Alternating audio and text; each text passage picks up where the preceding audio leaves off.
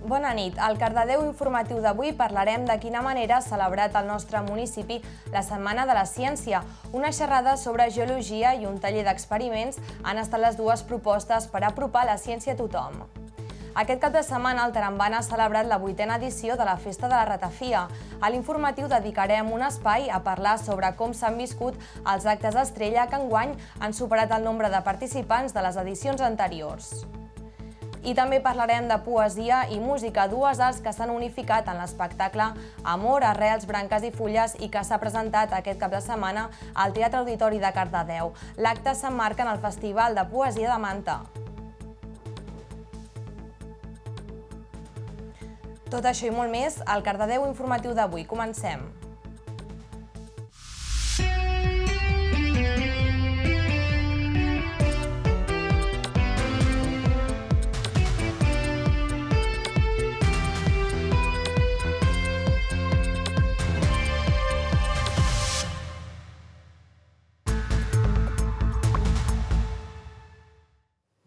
Ahir finalitzava a tot Catalunya la celebració de la Setmana de la Ciència en la que ha participat el nostre municipi. Cardedeu s'hi ha sumat amb activitats lúdiques adreçades a tota mena de públic. Una d'elles ha estat el taller que té com a títol La màgia de la ciència, en què el divulgador científic Joan Conchello ha apropat el coneixement als infants de Cardedeu i les seves famílies. Quantes cares té aquesta cinta? Quatre. Quatre. Una és la resposta. El matemàtic August Ferdinand va descobrir aquesta figura geomètrica juntament amb Johann Benedict i la van batejar amb el nom de cinta de Mobius. Ara, dos segles més tard, s'utilitza com a símbol de l'infinit. També el reconeixereu com el símbol internacional del reciclatge. 6 i un 7 i 4, 11, 15, 18. 18 és múltiple de 9. Els experiments del taller La màgia de la ciència han deixat bocabadats a més d'un. Una quinzena d'infants acompanyats a les seves famílies s'han posat a la pell dels científics per un dia. Acostar la ciència als més petits encara és un repte. Més que un repte, jo penso que és una necessitat de presentar la ciència de manera que sigui assequible. Si es posa el professor com donant una lliçó magistral, aviat desconnecten. En canvi, si els acostes a la realitat, perquè la ciència la tenim a tot arreu, llavors logres que la gent s'interessi. A part de ser com professor, també a vegades fa com gràcia i que és molt positiu. I que també aprenem coses noves.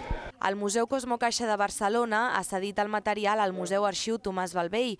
D'aquesta manera, Cardedeu ha pogut celebrar la Setmana de la Ciència. Aquesta ja és la 23a edició a tot Catalunya. Una altra de les activitats que s'han dut a terme en el marc de la Setmana de la Ciència ha estat una xerrada on la geologia ha estat la protagonista. La protagonista, l'hidrogeòleg Jordi Pinya, ha explicat com interpretar les notícies sobre els esdeveniments geològics i algunes curiositats.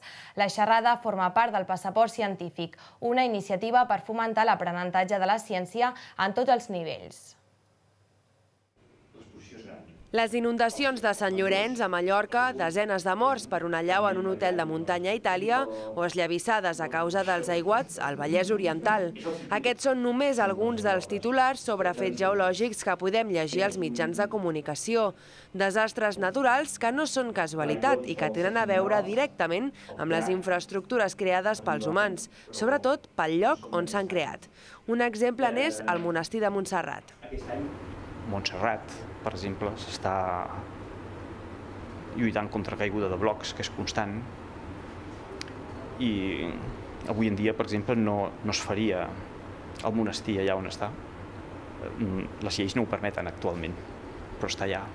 I per tant se n'ha de lluitar amb els medis que tenim els humans, que no són tan grans com els de la natura. Un altre dels espais amb fort risc per fets geològics són les zones nevades d'alta muntanya, com les pistes d'esquí, on es provoquen de manera artificial allaus per garantir la seguretat. Les estacions d'esquí eh, es provoquen allaus artificials perquè no hi ha gent de naturals.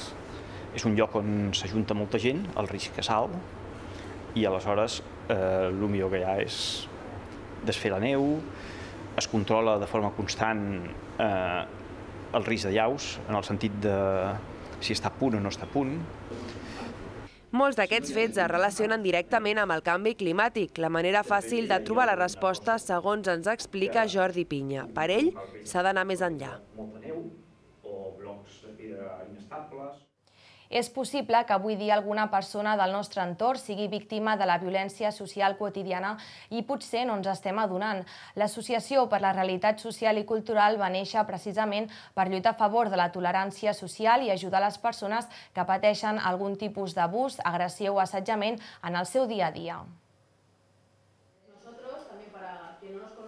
Des del mes de gener que l'Associació per la Realitat Social i Cultural, més coneguda com Ara Soc, treballa en contra de la violència social als espais quotidians. L'assetjament, l'agressió i la discriminació en són un exemple. Es poden donar de forma manifesta i també encoberta. El més important és saber identificar els actes i posar-hi solució.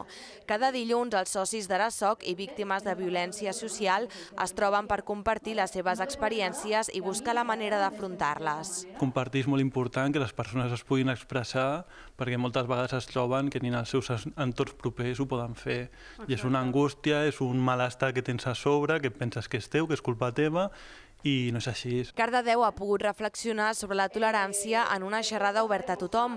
Saber identificar els culpables de la violència a vegades no és tan fàcil.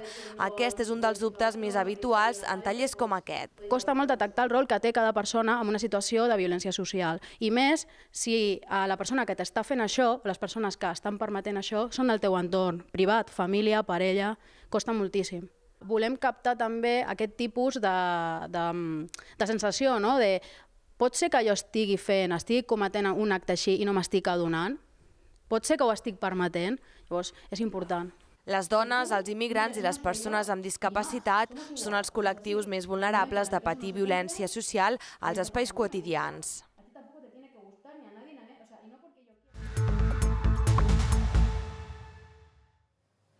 Aquest cap de setmana el Tarambana ha celebrat la Festa de la Ratafia, una festa que ja ha arribat a la seva vuitena edició i que volen, en certa manera, agrair a qui un dia els va ensenyar a fer ratafia, la iaia Maria. Un dels actes estrella és el concurs de cuina amb ratafia que aquest any ha doblat el nombre de participants. Un altre clàssic és el concurs de ratafies casolanes. Enguany ha complert el rècord amb una trentena de participants, dos d'ells de Toronto. El concert del músic menorquí Cris Joanico i la seva agrupació han posat el punt final a la Festa de la Ratafia 2018. Per dues persones, el Tarambana un cop al mes durant un any.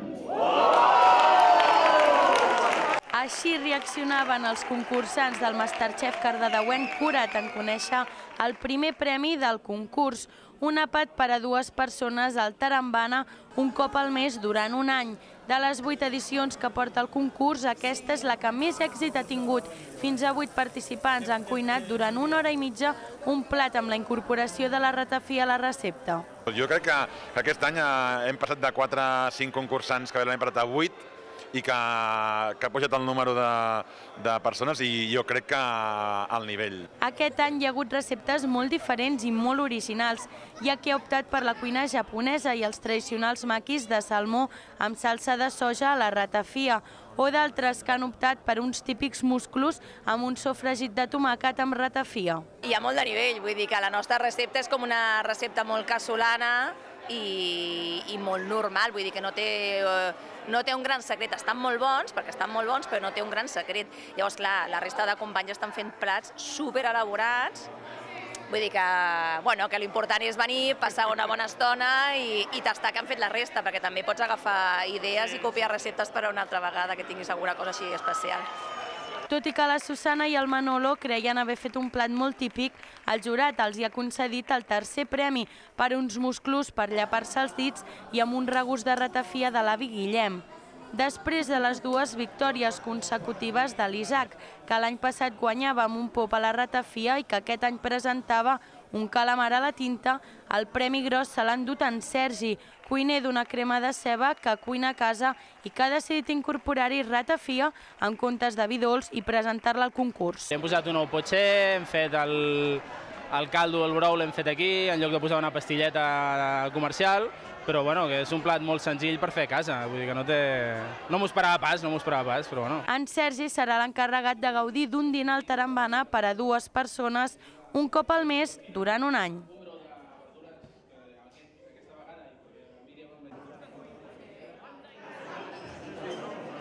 Trenta ratafies s'han presentat al concurs de ratafies que organitza l'Espai Cultural i Gastronòmic Tarambana. D'aquestes 30, el jurat expert s'ha encarregat d'escollir-ne les 6 millors. L'Anna Martínez ha estat la primera classificada del concurs, tot i que, segons el jurat, els ha costat decidir-se entre aquesta i la d'en Xavier Gasol, la segona classificada. Fa uns cinc anys que, que vam començar a participar al concurs de ratafia, érem eh, uns desconeguts en aquest món i a partir de la recepta de la iaia Maria, els primers anys ho anàvem fent amb la, amb la recepta, diguéssim, tradicional de la iaia. I, bueno, la iaia Maria, diguéssim, de Cardedeu. I a partir de fa 3 anys vam començar a experimentar una miqueta. Llavors, els meus fills segueixen fent la, la, la, la recepta tradicional de la iaia Maria i, i jo, conjuntament amb, amb el Cisco Lombard, hem anat experimentant una mica i ells la fan amb anís, que és la recepta tradicional, i nosaltres la fem amb aiguardent. I llavors, eh, cada any anem provant una miqueta a, a veure com, com anem innovant i com anem corregint la, la recepta, a veure, a veure fins on arribem. D'entre els premiats també hem pogut parlar amb la Mariona i l'Eloi Gasol, els fills d'en Xavier, que han presentat la seva pròpia ratafia i han quedat en cinquè lloc. Vam anar, bueno, cada any anem a casa d'un amic i fem tots una, bueno, una ratafia i cadascú, bueno, doncs fa això. Hem fet la recepta de la iaia Maria. Ens va ajudar el nostre pare i un amic, el Cisco, el jurat d'aquest any ha estat format per experts en la matèria com l'Eduard Pla, membre de la confraria de la ratafia de Santa Coloma de Farners, o en Salvador Garcia, membre del col·lectiu de la ratafia de Besalú, que ens han explicat tot el que han tingut en compte a l'hora de valorar les ratafies presentades. Quatre coses.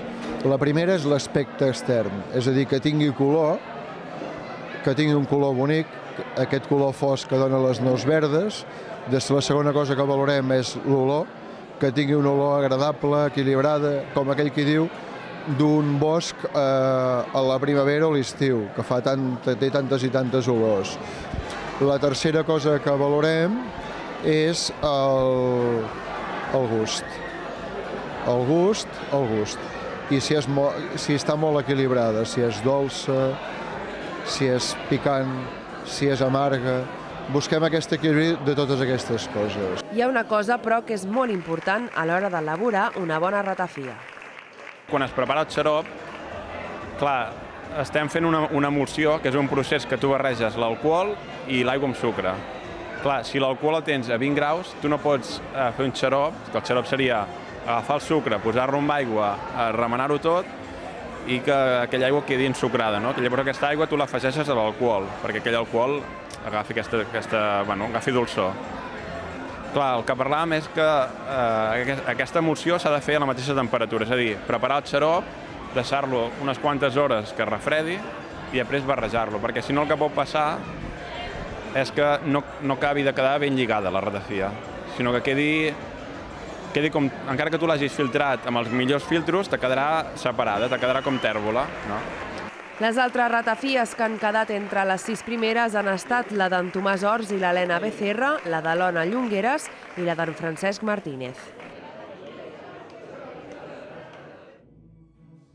Una nit fausta especial de la mà de Cris Joanicó ha ressonat entre les parets del Tarambana. L'agrupació del cantautor menorquí ha creat una atmosfera molt íntima entre el públic i els músics.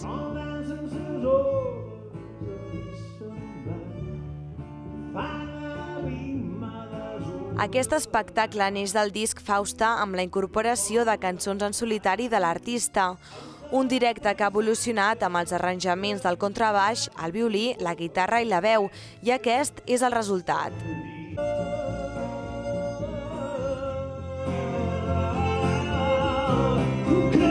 Actualment, Cris Joanico està treballant en noves cançons que s'enregistraran aquest hivern.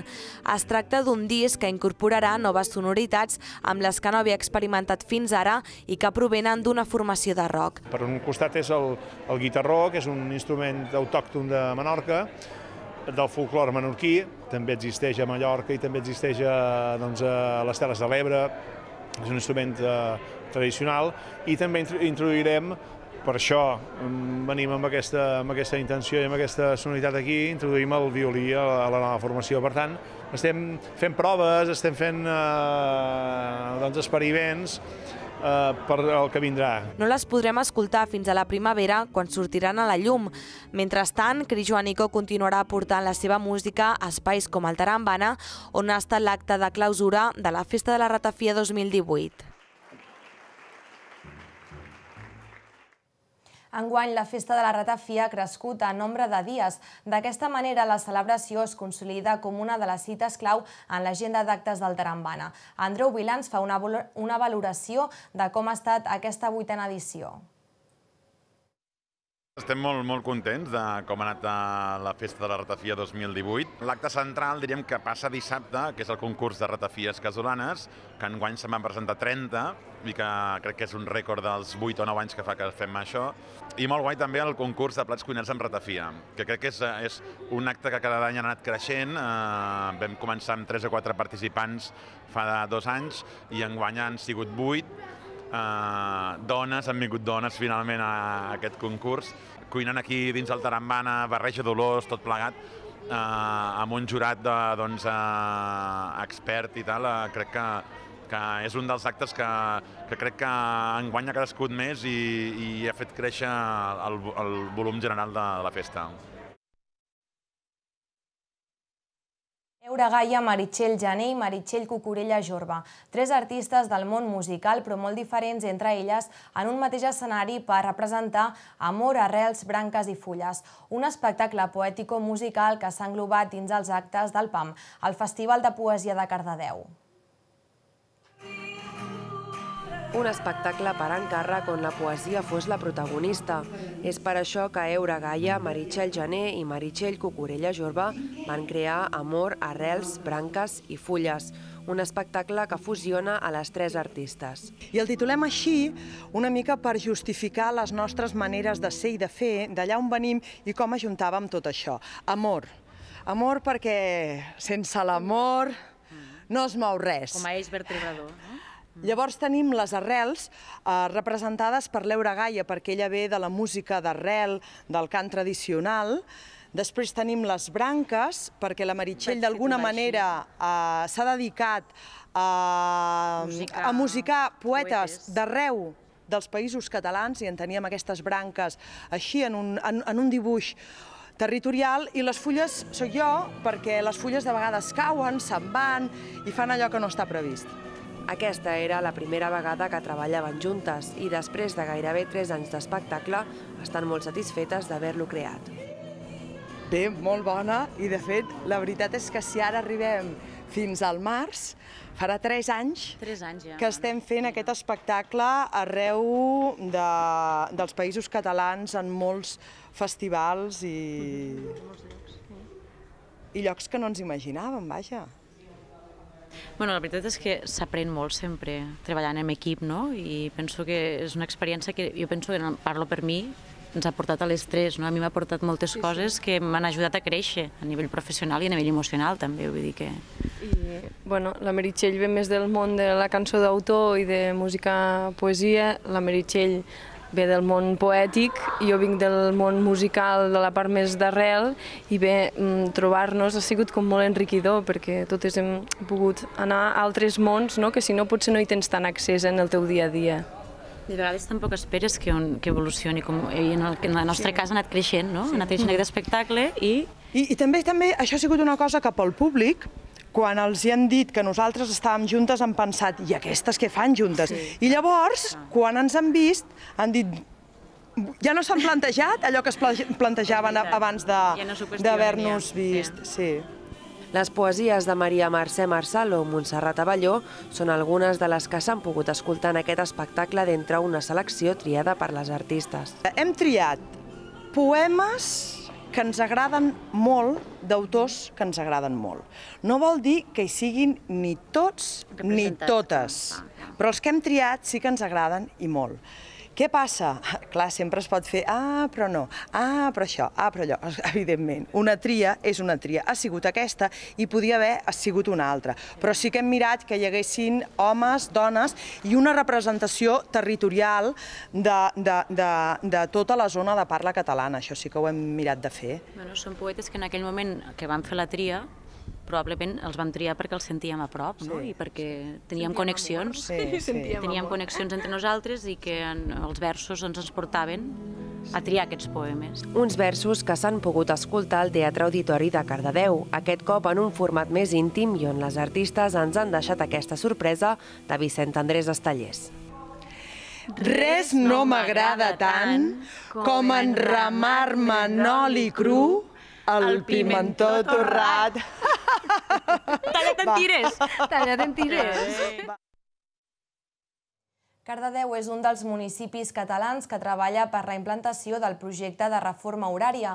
Després de la primera sessió de treball que es va realitzar a finals d'octubre, dimecres passat, els diferents grups de treball realitzaven una segona trobada amb voluntat de proposar i concretar mesures de canvi. Serveis públics, comerç i empreses de serveis, comunitat educativa i teixit associatiu són els quatre grans grups a través dels quals s'impulsarà aquesta reforma. Cardedeu inicia el procés de diàleg amb la ciutadania respecte a la implantació de la reforma horària. Com a municipi impulsor del projecte, escollit per la Diputació, Cardedeu ha proposat una sèrie de taules de treball amb diversos col·lectius. L'objectiu, definir conjuntament quins canvis es poden posar en marxa perquè aquesta reforma sigui una realitat. La reforma horària és una iniciativa ciutadana que impulsa canvis horaris perquè puguem gaudir de més llibertat en la gestió del nostre temps. Uns canvis que els coordinadors del projecte creuen que Cardedeu començaran a arribar ben aviat. Des de Cardedeu, jo l'any que ve. Jo crec que el 2019 hem de començar a impulsar mesures, no sé fins a quin, quin grau d'impacte podrà tenir, però jo crec que hem de començar ja amb campanyes de sensibilització, preguntar a la ciutadania també doncs això, quin, quin, quins horaris i quina, quin, quin dia a dia porten, però en general jo diria que, que l'any que ve haurem de començar a fer cosetes. Serveis públics, comerç i empreses de serveis, comunitat educativa i teixit associatiu. Aquests són els quatre grans grups de treball que hauran de començar a impulsar mesures concretes al municipi que ens permetin gaudir d'uns horaris més semblants als de la resta d'Europa. La discriminació per raó d'edat, especialment cap a les persones grans, és un concepte que ja, que ja es va començar a fer servir a finals dels anys 60. Es tracta d'un tipus de discriminació molt més estès del que pot semblar i que afecta un nombre molt gran de persones a la societat. Aquest ha estat el tema central de la darrera conferència a l'Aula de Cultura, conduïda pel psicòleg i professor de la Universitat Autònoma de Barcelona, Josep Vilajoana. L'edatisme és un dels prejudicis més normalitzats dins la nostra societat i descriu la discriminació per raó d'edat, generalment contra les persones de la tercera edat. Aquest concepte ha estat la base de la darrera conferència de l'Aula de Cultura. Josep Vilajoana, psicòleg, professor de la Universitat de Barcelona i vicepresident del Consell General de Psicologia d'Espanya, ha explicat que la discriminació d'una persona per edat és una de les tres grans formes de discriminació de la nostra societat, per darrere del racisme i el sexisme. Un mal social on la solució comença pel propi convenciment.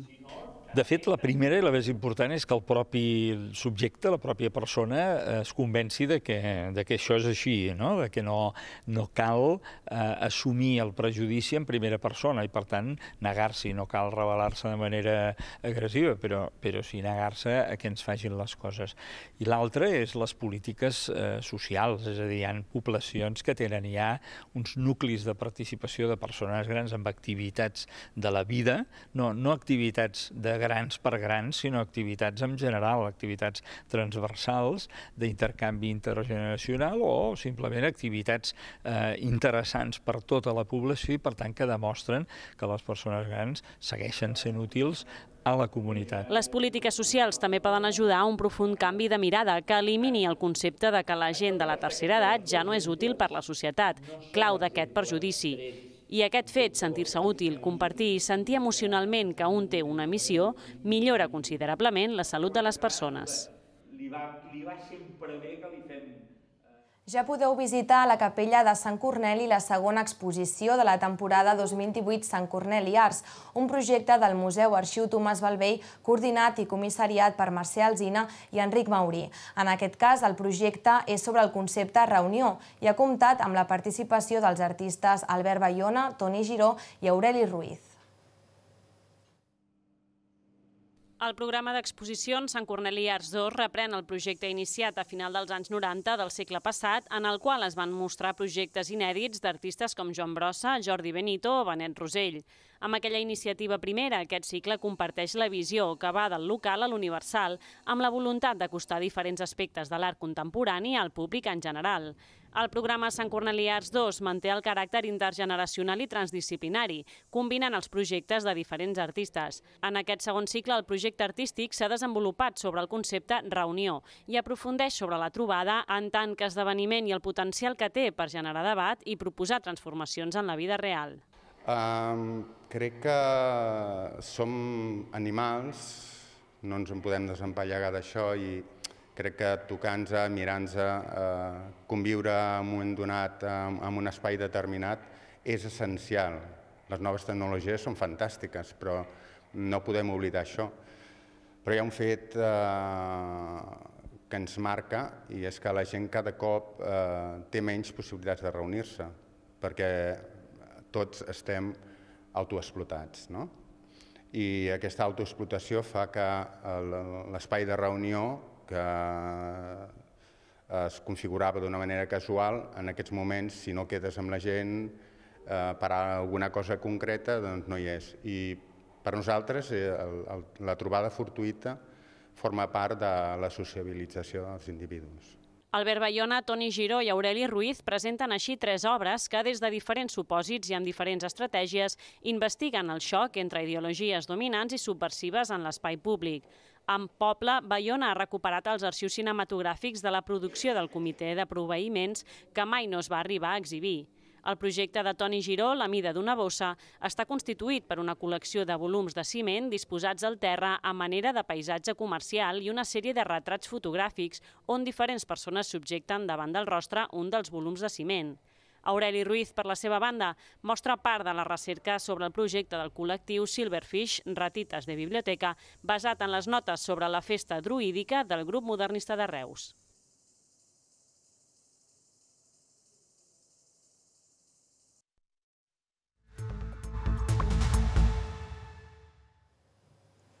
I fins aquí el Cardedeu informatiu d'avui. A continuació us deixem amb el programa Territori Contemporani dels companys de BOTV. Aquesta nit amb Martín Llavaneres com a convidat. Nosaltres tornem dijous amb un nou Cardedeu informatiu en directe. Que passeu molt bona setmana. Bona nit.